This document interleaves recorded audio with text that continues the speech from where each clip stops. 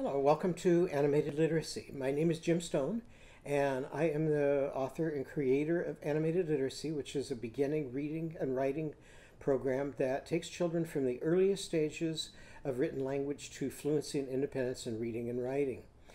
In this YouTube series, I'm going to be presenting the 91 basic lessons from the Story Song and Action Book. So there will be a segment for each one of those lessons, and I will be teaching those lessons as closely as I can to the way that I uh, presented them in my own classroom. This YouTube channel is titled Animated Literacy Lessons. We have another YouTube channel that is called Animated Literacy Overview and Research. So please also visit that channel and it will give you the scientific research and brain research, language research, and reading research on which animated literacy is, is founded. And I believe the better you understand the research behind it, the more successful you'll be in terms of implementing the program. So in this section, what I'm going to do is just give you a preview of some of the early lessons from the story, song, and action book so that you can kind of see the sequence and how the program begins to evolve. The first thing that we're going to be doing is developing listening comprehension by reading to children and developing phonological awareness through the use of 45 animated literacy characters. Each character has a complete story, and in order to have a complete story, you have to have characters that are placed in settings that have problems to resolve, that undertake actions to resolve their problems, and at the end of the story have feelings of success or failure. So these stories can be used to teach story structure, to teach vocabulary, and to improve children's language skills. Then, following the story, there's a song that goes with each character, and each song has uh, finger plays so that children are physically involved in the singing of that song. And in the early stages of language acquisition, it's the gestures that drive the meaning. And this is especially true if you're working with children who have limited language skills or, or who are just beginning to learn English as a second language. Before starting the program, I suggest putting up all of the characters in black and white, the way you see in this chart. And you can either use a chart for that, or you can use half-size picture cards, or you can use our full-size picture cards. It just depends on how much space you have up on your wall. Then as you're introducing the characters, each time you introduce a, a character's complete story and song, you change the black and white picture to a color picture. So that way, gradually these black and white pictures will all come into color. And as that's happening, children will be able to assess their progress by simply looking at the chart to see how many pictures are in color. And that's real valuable that children are able to see how they're progressing. Lesson number one is going to provide a rapid way of introducing sounds. And it also introduces concepts that you will use all year long. So we're going to begin with using the song Are You Sleeping, Brother John to set the context for introducing sounds, and then we'll begin playing with sounds through the use of the bell tones that appear in the last line. So this ends up being a real valuable tool in terms of introducing sounds. Now, occasionally a teacher will tell me, well, I don't sing very well, so how can I possibly use that program? Well, I was one of those teachers who was very reluctant to sing when I first started my teaching career. So I would take a tape recording into the classroom, play the recording, and hope the children would sing along with it. But I discovered if I didn't sing with it, they didn't either. So then I learned to play guitar. So I thought, well, if I play guitar, um, the children will sing along. And I can remember back in sixth grade where I had been teased for my singing, and that's when I quit singing, and I didn't sing again until probably my third year of teaching. Finally, after two years of trying to get my kids to sing without me singing, I realized I'm going to have to take the risk of singing. So then I discovered it didn't matter how well I sang, it mattered how much I smiled and how much joy I put into the singing. And if I put enough joy in, the children would join me. This is a wonderful quote from Don Campbell in his book, The Mozart Effect for Children. And so if you're reluctant or self uh, not very confident in your singing ability, keep in mind this quote. He tells us it is not necessary to be a professional musician or even to sing on key all the time to introduce music into your child's life. Young children learn most effectively from those who love them, not who, those who display the most technical skill. So if you can sing in the shower, or you can sing along with Frere Jacques in, in the car, um, you can do this. So we're going to start out with Frere Jacques. And when we first introduce Frere Jacques, I'll simply have the kids listen to it and then sing along with the recording. So this is our recording of Are You Sleeping, Brother John?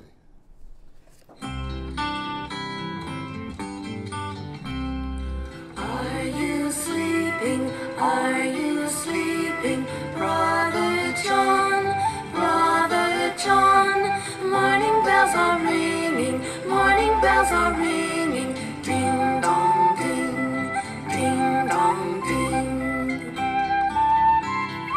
So when you're first introducing Frere Jacques, that's all you need is the tape. It goes on to other adaptations that you can use later in the school year. So now, once we have learned to sing Are You Sleeping, we're going to put some, some gestures with it. So show me this and sing back to me. Are you sleeping? Are you sleeping? Show me brother. Brother John, Brother John. Now show me your morning bells. So show me ringing a bell. Morning bells are ringing, morning bells are ringing, ding dong ding, ding dong ding. Now I tell the children, we're going to give you a special bell sound to wake you up each day. So here's Oscar. And I bring Oscar up to the front of the classroom and I tell him, Oscar, your name starts just like Dr. Ollie Ostrich. And if you go to the doctor with a sore throat, what's that doctor going to do? He's going to put a stick in your mouth, and what he's going to ask you is he going to ask you to say, ah. So everybody take that stick, point to your mouth, and go, ah. Now sing this back to me. Are you at the doctor's? Are you at the doctor's? Brother Oscar, brother Oscar. Oscar's bells are saying, Oscar's bells are saying, ah, ah, ah. Ah, ah, ah. So what's our sound for Oscar? Ah. Now Amy comes up to the front of the classroom. And I go, Amy, your name starts just like Abe. And what is Abe doing in our picture? Here's Abe skating to the bay. And so, Amy, your name starts just like Abe. For Abe, I want you to show me the wheel of a skate with this hand. Put your other hand up on top. And as you go down the hill, go, Hey! Now what's going to happen when we put Amy into Are You Sleeping? Ready? Are you skating? Are you skating? Sister Amy, Sister Amy. Amy's bells are saying, Amy's bells are saying, A, A, A, A, A, A. So what's our sound for Amy? A. What was our sound for Oscar? ah. So right away, kids have been exposed to and in many cases learned two vowel sounds. Now, the reason I started with vowels, animated literacy teaches in a sequence that is just like the sequence that is used all over the world in every single language when babies are first learning to speak. And we know that the brain uses the same brain structures for reading as it does for speaking. And when you analyze speech, you find that it has the same elements as are necessary to be able to read and write successfully. So before birth, children are hearing rhythm and melody and sing-songy language, just like we're using with Frere Jacques. Immediately after birth, they start to gesture and they copy the gestures of the adults around them. If you stick out your tongue to a baby, they'll stick out their tongue.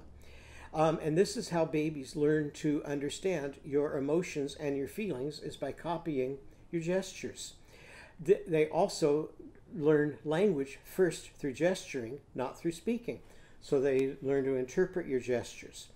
Then, after they have been communicating with gestures for a couple months, they start to produce their first vowel sounds. And the first vowel sounds they produce all over the world are oo, e, and ah. So that's why we did vowels first, so, and why I called up my children whose names begin with a vowel before I called up children whose names begin with a consonant. Consonant sounds come in later. Now, most reading programs reverse this and either ignore vowels altogether or introduce consonants ahead of vowels. So, but when it comes to vowels, it gets a little bit more complex when you look at what babies are doing with language. So here we have Paul. Paul comes up to the front of the classroom and I go, Paul, your name starts just like Polly Panda. And so here's Polly Panda. And what is Polly Panda carrying? She's carrying her paintbrush and her bucket of paint as she's par parachuting down to Penelope's prim and proper preschool. So Polly Panda likes to paint in school. So let's pretend like we're painting. Put our paper in front of us, move your paintbrush up and down and go, Pah. So how would Paul's verse sound? Show me painting. Are you painting? Are you painting? Brother Paul, Brother Paul. Paul's bells are saying, Paul's bells are saying, ping pong, ping, ping pong, ping. Now, how did I change that? I've tried, I'm trying to mimic exactly the stages that children go through in their language development. When babies are producing vowels, they do them one at a time, and we often call that the cooing stage of language development. And that happens for most children at about two to four months old. Then it takes several months before they start to produce their first consonants. And when they produce their first consonants, the instead of of producing them like they did with their vowels. They take the consonant, put it in front of a vowel, and blend the two together. So blending is a critical skill for learning to speak. It's also a critical skill for learning to read. So now we're starting to move on to blending through the way animated literacy is introducing those sounds. So let's say Tina is the next child I call up to the front of the classroom. And I go, Tina, your name starts just like Timmy Tiger. And Timmy Tiger's tickling Terrible Tom's tummy. So take both hands, tickle your tummy like this and go for Timmy for a Tina sound or for Timmy Tiger sound. So now let's see what would happen when we put Tina into our song. Are you tickling? Are you tickling? Sister Tina, Sister Tina, Tina's bells are saying, Tina's bells are saying, ting tong ting, ting tong, ting. So what was our sound for Oscar? Ah. And what did his bell say? Ah, ah, ah. And what was our sound for Tina? T. And what did her bell say? Ting tong ting. And what was our sound for Paul? For Paul? P. Painting. And what did his bell say? Ping pong ping. So now, very rapidly, we can introduce the sound that each child's name begins with in the classroom. But remembering, we're not worrying about how they spell it. We're only worrying about sounds, not letters or spelling yet. Then gradually we move on to using the characters' names instead of the children's names. So now instead of singing Are You Painting Brother Paul, we're singing Are You Painting Polly Panda? And now we can begin to cre create a verse for each child, and you'll see that in lesson number one. We know that emotion is the driving force behind attention. And you can't learn anything if you don't pay attention to it. And children love the silliness of playing with all of those different bell sounds. So they're going ming mong ming and king kong king and ring rong ring and ding dong ding. And then they're starting to do it with animals. So now we do things like this. Little puppy, he says woof, woof, woof. Polly's puppy, he says poof, poof. Poof. So we're going to do a lot of playing with sounds and we're going to put that with rhythm and melody so that children can join in and have a great time with it. And what I'm looking for is that children's eyes are dancing. Now, we didn't do this leading into it, but you can combine literature to this and I have taken and combined literature from an app called Skybrary. Because at the front of every lesson, when I'm introducing Are You Sleeping, we want to talk about sleeping. When I'm introducing painting, we want to talk about painting. And so Skybrary is an app that you can subscribe to for only $5 a month or $40 a year, and I don't have any association with Skybrary other than to recommend it. But finding books and purchasing books for every character is pretty expensive. So you want to have some books that are tangible physical books. But through the use of Skybrary, you can also have a complete library of books that you can read with your children. And in this one, this little girl, um, is sleeping, and it tells us that if she spins a globe while she's sleeping, somebody on the other side of the world is dancing, somebody's walking, somebody's eating, and all these other activities. Then in this book, Mole has been asleep and hibernating, and, and so has his friend Bear. And he wants to get Bear to wake up from hibernation, and Bear's having a hard time waking up. So that's a good book to read leading into it. Now, once we have done a verse for every child in the classroom, we can do this worksheet where every child has a page that they can do. And so here's, here's Emma's page for Are You Sleeping? And so to scaffold this, I've written Sister Emma in advance. So all she has to do initially is rainbow write over those two words by taking out her crayons and tracing it with different colors. Then she tries to duplicate that by copying those words down underneath. So while Emma's doing her rainbow writing and her tracing, I'm going around each child and showing them on the bottom line how they spell their name. Then they're to take and draw me a picture of them sleeping, where they sleep and how they sleep. And as I'm going around to each child and writing the spelling for their sound at the bottom, I'm asking them about their picture and they're giving me a sentence. So Emma says, My bed is soft. So I'm writing that sentence and she's tracing over the top of it.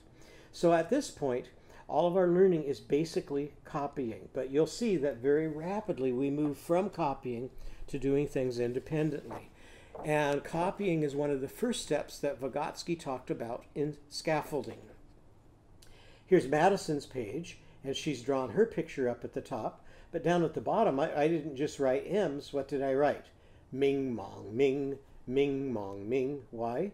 Because her sound is not a vowel, it's a consonant.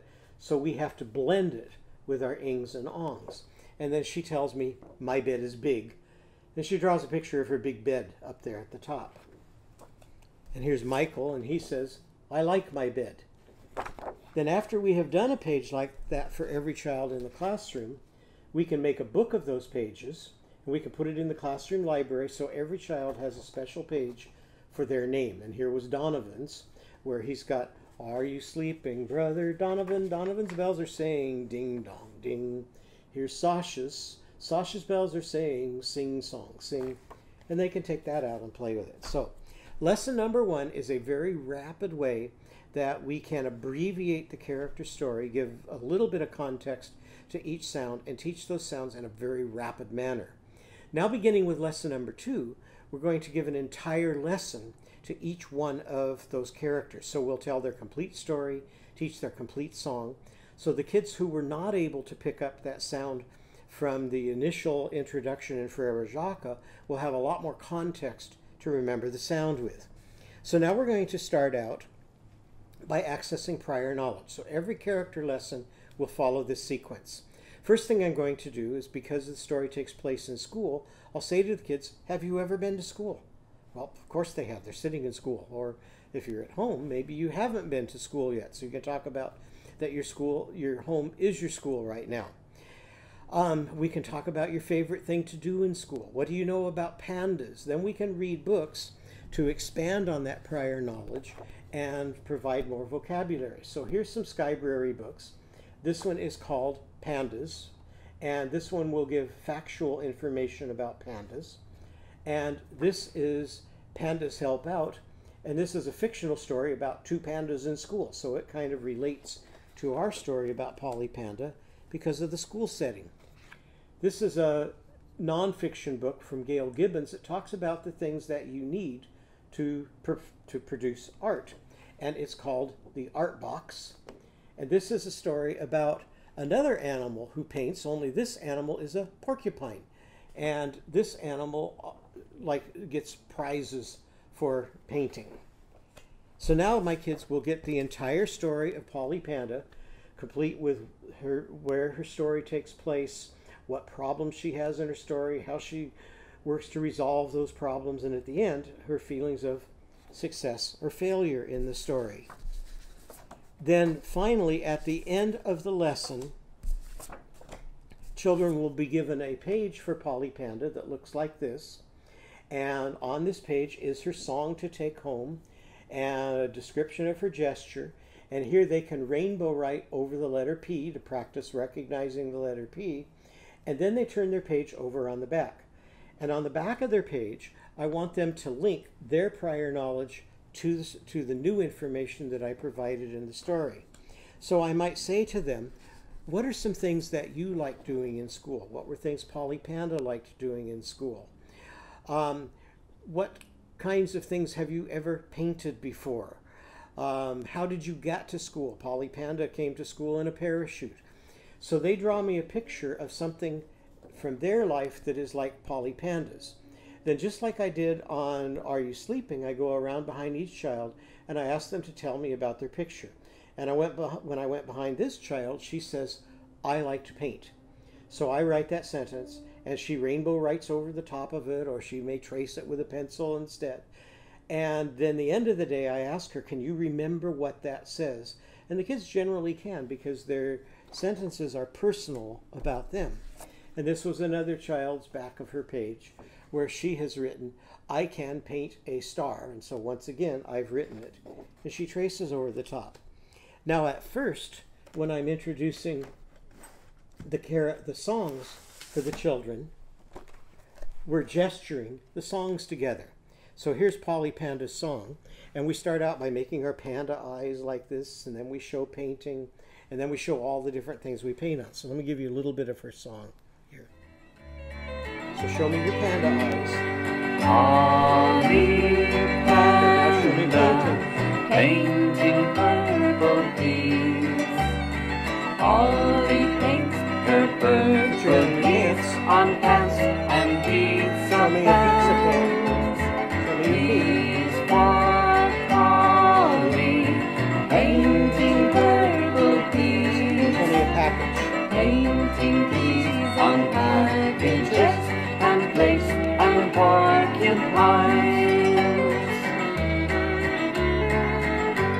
So when you're first using the songs, um, I gesture it and sing it, and the kids gesture it and sing it back to me.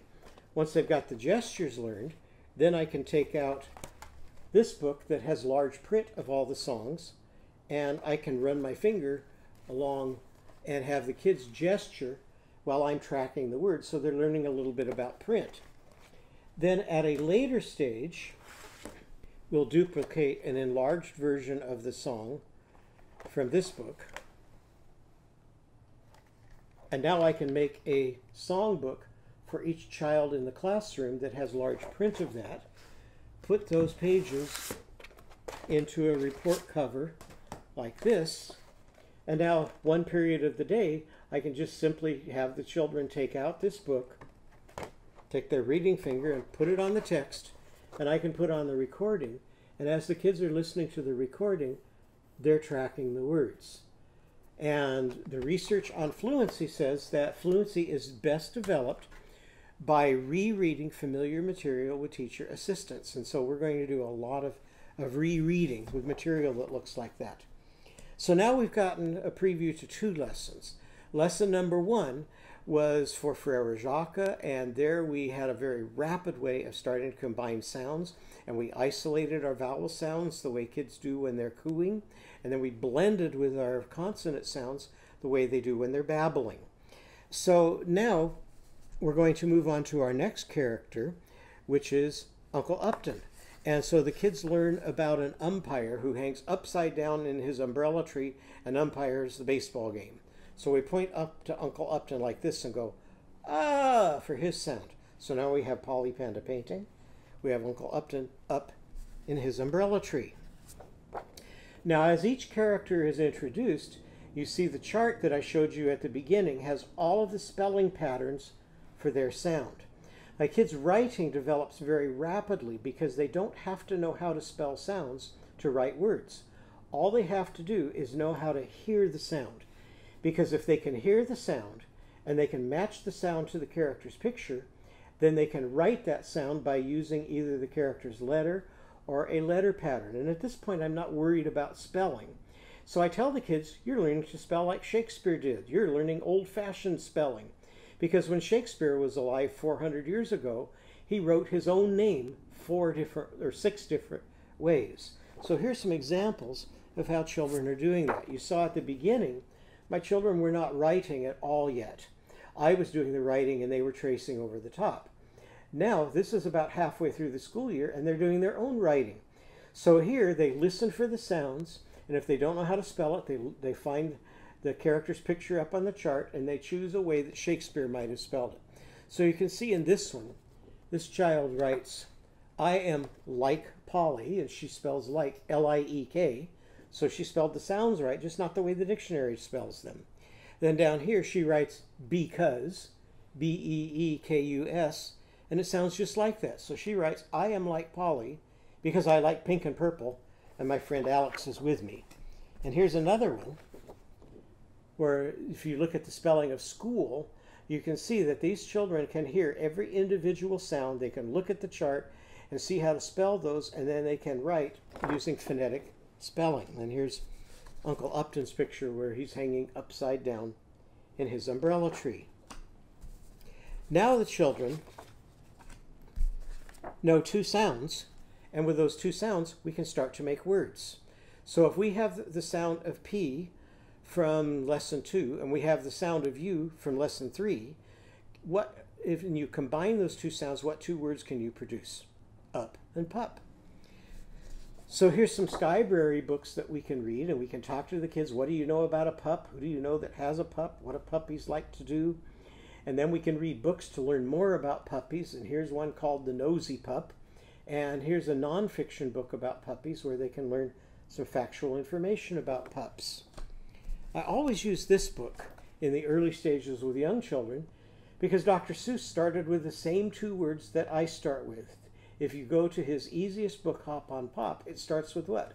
Up, pup. Pup is up. Then he wrote an entire book about pups. And in this book, called, called Great Day for Up, you have the word up and you have the word pup again. Now we're going to draw a picture of a pup. And my picture is going to look like this. And the kids will copy me step by step. Now, some people have expressed a concern that if you teach children to copy, maybe they won't be creative. Or, and some people have expressed another concern that says, well, I don't draw well enough to teach children how to draw. There is no substitute for the drawing component. I went from, probably from the time I was about seven years old till the time I was teaching kids how to read and write, not being able to draw anything. Then, once I started to include a little bit of drawing, I saw how powerful drawing was. And I went to Mona Brookes' workshops to learn how to draw. And she is the author of Drawing with Children. Mona Brookes developed all her drawing techniques working in a preschool with four year olds. And what she tells us is that all most artists learned by copying. Michelangelo, Picasso, all of those artists in their early stages learned how to copy those who came before them. So I'm going to show you how I draw with the children here. So first we'll take out our pen, take the cap off, put it on the other end, and show me when you're ready to draw eyes. Now my drawings are not Mona Brookes drawings, but they're using the techniques that Mona Brookes uses. And she always starts with the eyes and the face and works from the inside out. So show me when you're ready to draw eyes. Oh, I like the way your pen is up in the air. Show me two circles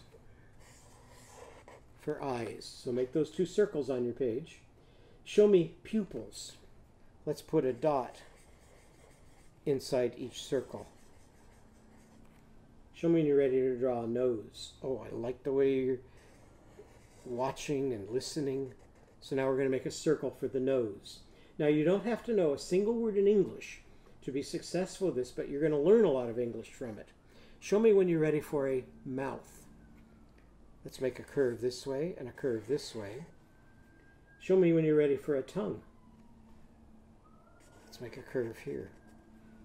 Show me when you're ready for whiskers. Let's put some little dots here, some little dots on this side. Show me when you're ready for the head. Let's make a nice big circle all the way around the face. Show me when you're ready for ears. And when I say the word, I, I touch that body part so that the kids comprehend what it is that I'm saying. So let's make an ear from the top of the scalp down to the chin, from the top of the scalp down to the chin. Show me when you're ready for legs. Let's make a line from this ear down across the bottom of our page and up to this ear and add a line down the middle. Show me when you're ready for paws. I'm going to go one, two, three here, one, two, three over here. And show me when you're ready for a tail. Now I'm going to give him a little short stubby tail, but you can give him a long skinny tail or any kind of tail you want. Now when I get this page home, I want everybody to know I drew a pup. So how will they know that? We need a word. So now is where we're going to start talking more about letter names and letter shapes, and this is where I teach printing. Everybody say pup. What did you hear first? For painting. Well, how does Polly spell that? With a P. So how are we going to make a P? Let's make a straight line down and a curve. So I use the same vocabulary and techniques for making the letters as we used for drawing the pup. Say pup again. Pa, ah, for up. How does Uncle Upton spell that? Most of the time he uses a U. So we'll talk about how to make the U, and the kids draw a U on their page. What do you hear last? Pup, pup. Oh, I like the way you're painting. So even though nobody's showing me painting, if this is first week of kindergarten, I still go, oh, I like the way you're showing me painting, and they all go painting. So now here, we did our pup in lowercase letters. Now we're going to give our picture a title. Many reading programs start with the word the. No child speaks the for its first word, so it's not developmentally accurate. But in order to coordinate animated literacy with other reading programs, we'll title our picture The Pup. And we'll write the in all capital letters, which means it's all straight lines, which the children can copy quite easily. So what does T-H-E spell? The. Now let's write pup with all capital letters. So there's our P that looks a lot like this one, but when we make our U, we're going to make it just as tall as we did the P.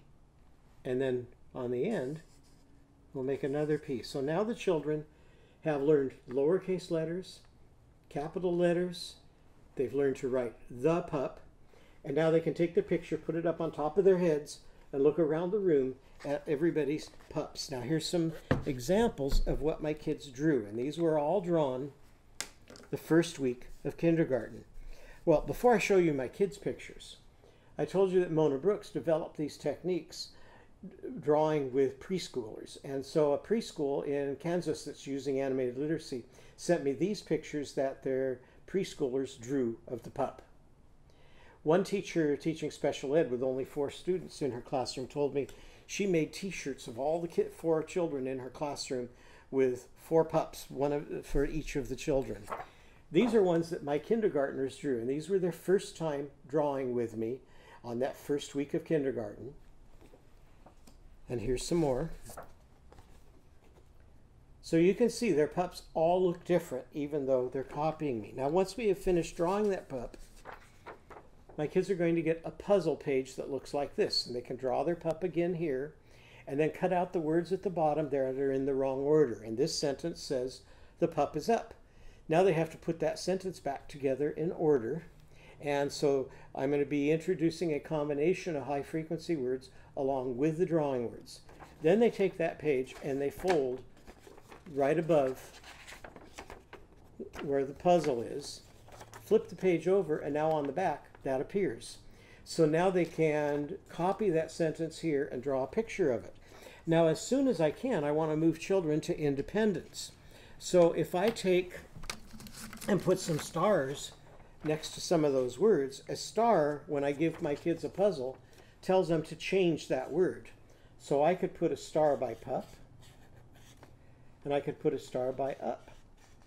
And so if my kids are at a higher level, now I can say, I want you to copy the sentence, but don't use those two words. Use your own two words. So now we're moving children to higher levels of independence. And a child might write, the cat is running, the um, dog is lying down. So they could put any kind of words that they want to rewrite that sentence. So now you can see here, this child has completed her sentence and she's copying it on the back of her page and she's drawing an illustration to go with it. Now, every time we draw something, it goes up on our drawing word wall. So when we drew our picture of up, here was an arrow with up and here was our puppy. And so we're going to then start to put these into pattern songs so the children will have a complete text to read and write. And throughout the course of the year, we're going to keep adding more and more pages to the drawing. And so this is the first page, and here's another page that goes up.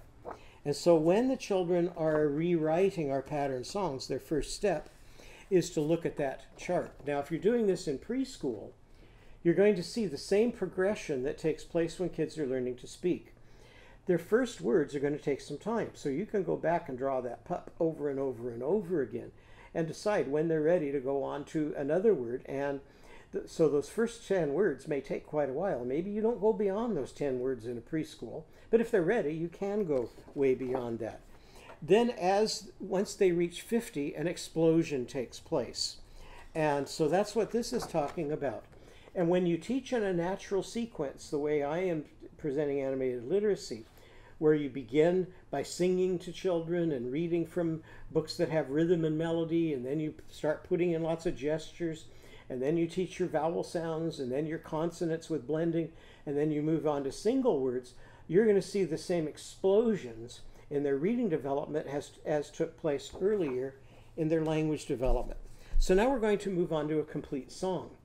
So this is a song about chasing.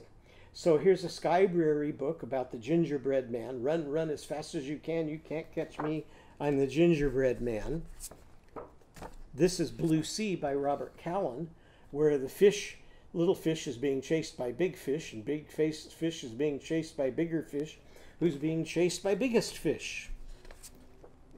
This is a little more complex text that talks about various animals and what they do to survive when they're attacked from other animals. So now we're going to take and put our word that we just learned to draw into the context of a song. And the first song that we use words in for replacement in is I Caught a Fish Alive. And our version of I Caught a Fish Alive sounds like this.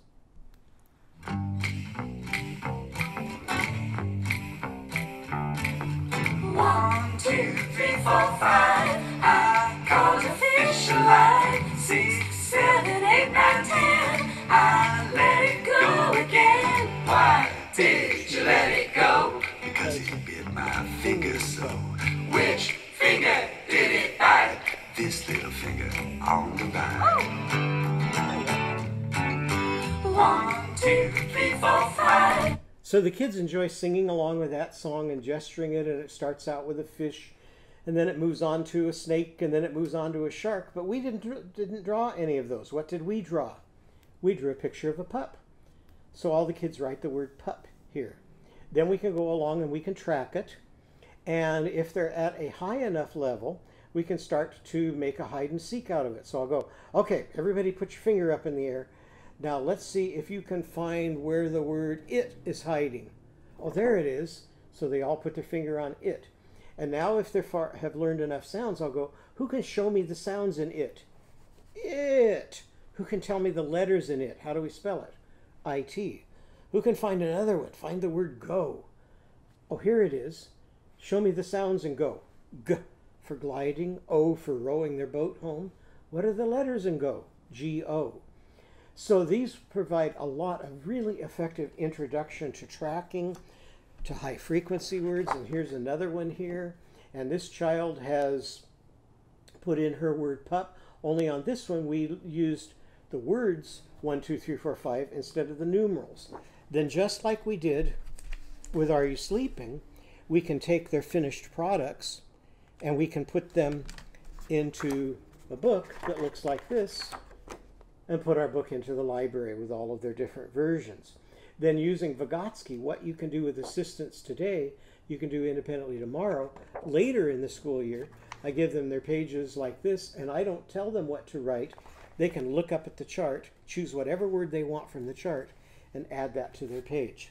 So that's kind of a little bit of how the sequence goes. So let me review that.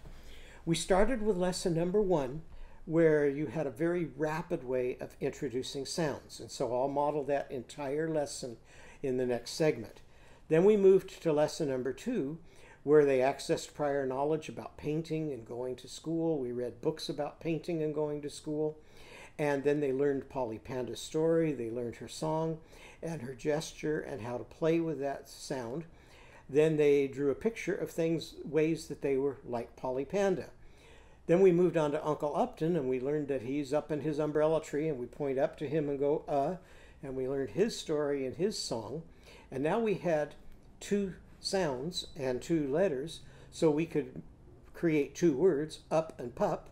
And so we learned to draw our picture of a pup. So now we have a visual image of that pup to connect to the letters. And then we plugged it into a pattern song. So now in our next lesson, we'll learn short O for Ollie Ostrich. The kids will draw a picture of a pop, and then we'll put pop into I Caught a Fish Alive. And so we can go one, two, three, four, five, I caught a pop alive. And then we introduce M in the next one. And we have Mimi Mermaid moving her magic mop and her sound. And then for hers, the children drew pictures of a mom. And then we put it into a complete song. Lost my mom, what'll I do? So we make this into a hide and seek where mom is hiding and, and the child has to go and find her. So it keeps repeating. Every time a new sound is added, then that sound is combined with previous sounds to draw, and then that drawing is added to a pattern song that we can track and locate words in and gesture those back. So please join me for the 91 lessons and we'll keep going one at a time until finally when we get all through 91 lessons we will have everything that we need to read and write effectively, but we'll have to keep practicing it. So then, following those 91 lessons, I'll give you some introduction to the review lessons that can be used over and over and over again. So thank you very much for joining me, and I hope to see you in the next lessons.